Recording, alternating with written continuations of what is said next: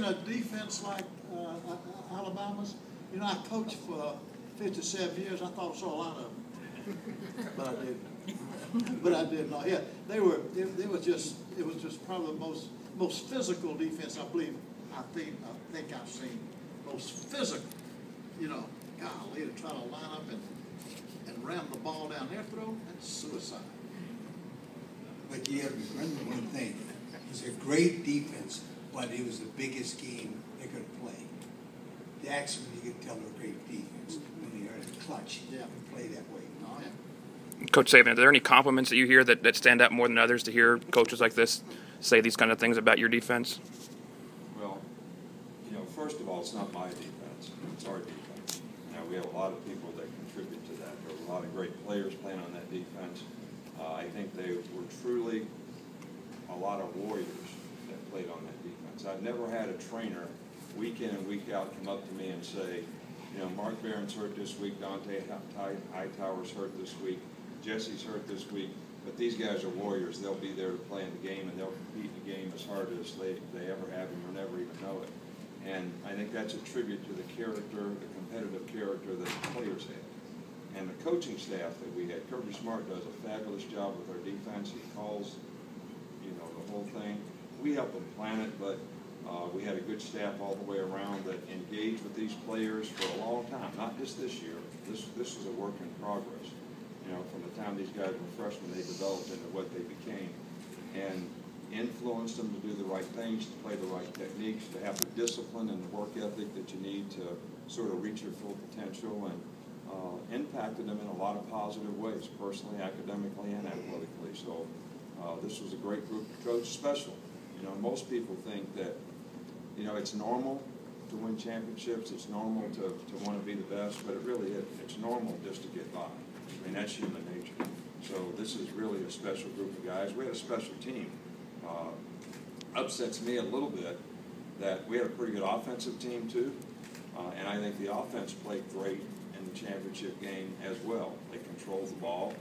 Uh, I mean, to have seven field goal attempts and score one touchdown in the game is, you know, that's doing a pretty good job against a pretty good defense that LSU had as well. So um, we had a really good team, uh, and the defense was special, and it was because it was a special bunch of competitors, and the coaches did a fabulous job with it. Coach Bowden, once you got Florida State established, they got up there on that plateau and were top five year after year after year. Do you picture Alabama being on that same plateau? I, I think Alabama has a tougher time just because of what you said about the SEC. You got too many good teams. I mean, I, I don't know how you I don't know how you keep winning that in that league. You know what? If we don't take one slip up, you're out. Uh, so it, it, does that, is Alabama capable of doing that? Yeah, but everybody else is better too. You know what? But if they did it, it wouldn't surprise me. We didn't win our division this year.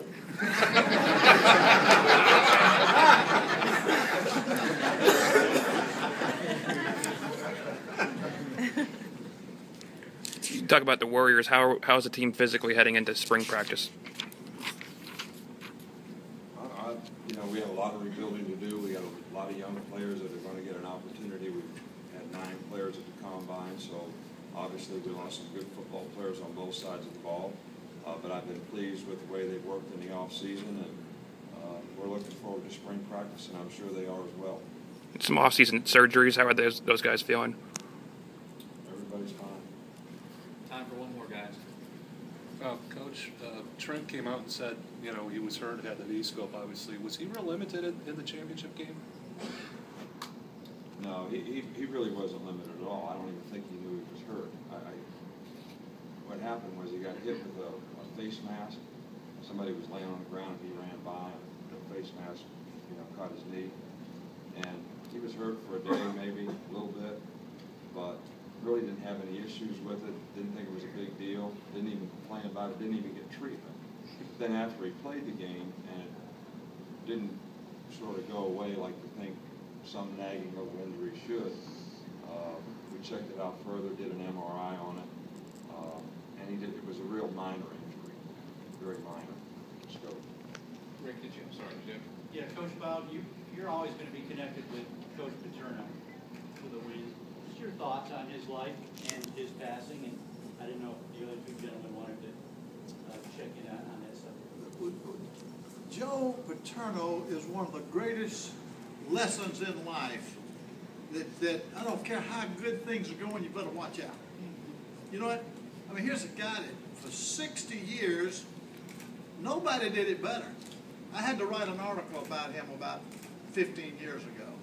And I, I remember I, I, they put it in a magazine. I said that when Joe re- retires, he'll go down as the greatest coach ever. I really thought he would. 60 years at one school and, and stay out of trouble and graduate his players, you know. Then all of a sudden this thing came up and he didn't, he didn't have anything to do with it, you know what? But evidently he didn't respond like they thought he should and, and it just ruined him. I can't believe it. Now he ain't here anymore. You know what? Because I've known him for very close for years. And uh, again, it's a great lesson for all of us. You better watch your life. You know, you, you take away from it just like that. You know.